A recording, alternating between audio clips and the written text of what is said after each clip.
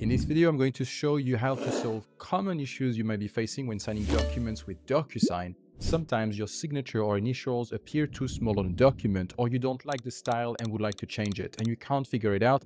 DocuSign doesn't make it that simple, to be honest. I'm going to walk you through how you can solve all these issues, whether you have a DocuSign account or whether it's your first time using DocuSign ever. Let's get started. As soon as you've filled out the document, in case there were fields that you had to complete, you're to click on sign and then your signature will be applied. Now I can change the signature because it's not my first time signing. I can either choose a handwritten type font, or I can draw my signature, or I can also upload an image of my signature. But let's go back to what I was saying before. So you drew your signature and you thought it looked great. And then when you look at it, you actually realize that no, it doesn't look that great you're not going to be able to click on change. If I click on this again, I cannot change it. And that's because you're a first time signer. Now, if after signing the document, like I've just done, you realize that the size of the signature is too small, and so you don't like it, you would like the size of the signature to be bigger, you need to contact the sender and ask them to correct the envelope. If, however, it's the style of the signature that you don't like, unfortunately, it's too late. You can no longer change that. You're going to have to contact the sender as well.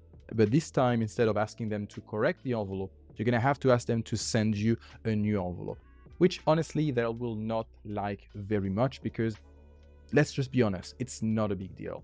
It's just a digital signature. But if you really want your document to be perfect, you can't stand the way your document looks, then by all means go ahead and ask the sender of the document to send you a new envelope. But before you make the same mistakes, then follow those next steps. First, you want to create a free DocuSign account. Go to DocuSign.com, you'll find the link quite easily.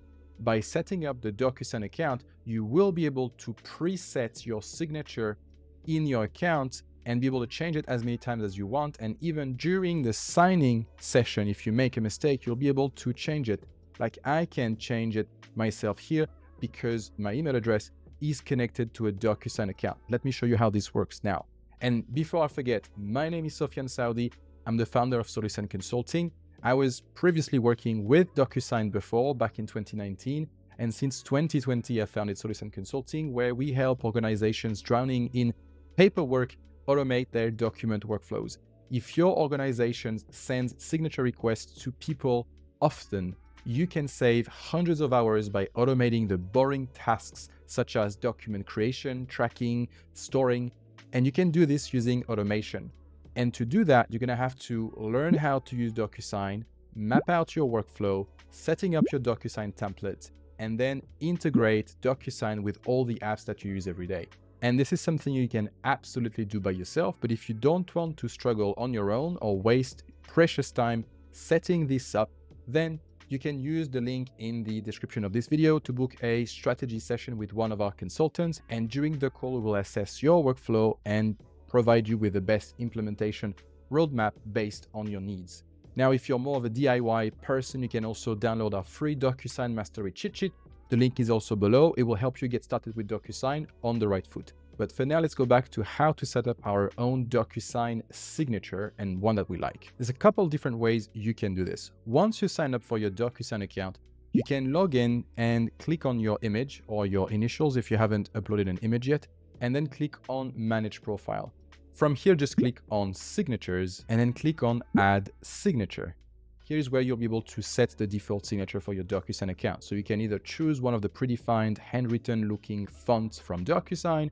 You can also draw your signature, although I don't recommend doing that using a mouse. It's awful.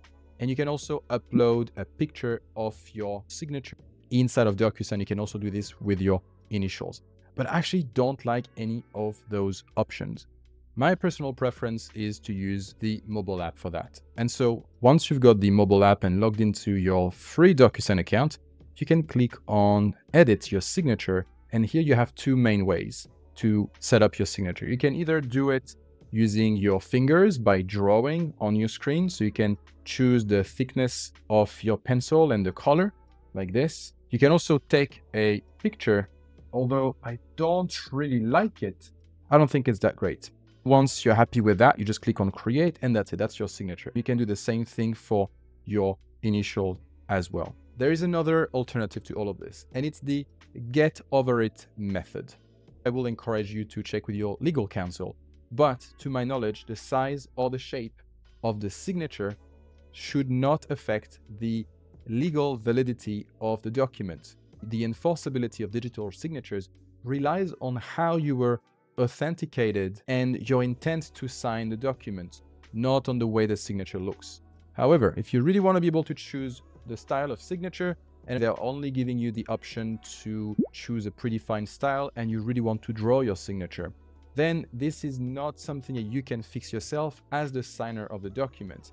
It means that the sender of the DocuSign envelope has locked the signing method. The only thing you can do is to contact the sender and ask them to unlock the signing method. But now let's talk about what you can do if you're the sender of the document. Option one, the get over it method.